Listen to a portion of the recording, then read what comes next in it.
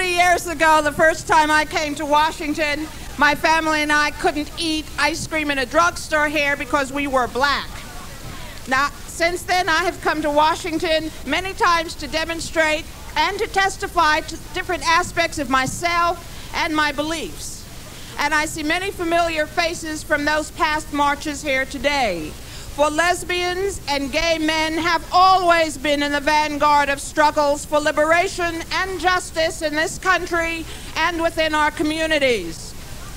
The first national conference of third world lesbians and gay men met in Washington over the past four days, and it was an outstanding success.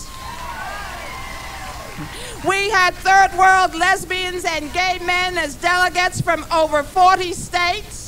Third world lesbians and gay men from Mexico, from Canada, and from England. Now, we have all come together to demonstrate our power as lesbians and gay men in behalf of our own rights. And this is the beginning of a new front, for we are saying to the world that the struggle of lesbians and gay men is a real and particular and inseparable part of the struggle of all oppressed people within this country.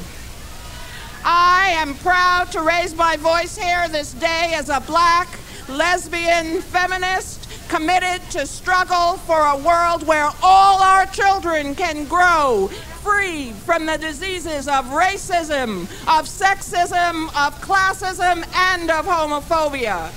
For those oppressions are inseparable. The question always is what kind of a world do we want to be a part of? And affirmation and work does not stop with this march on Washington. Each of us has a responsibility to take this struggle back to her and his community, translated into daily action the National Conference of Third World Lesbians and Gay Men, and this march today were once only visions of what could be. Now, all of us have made it our reality.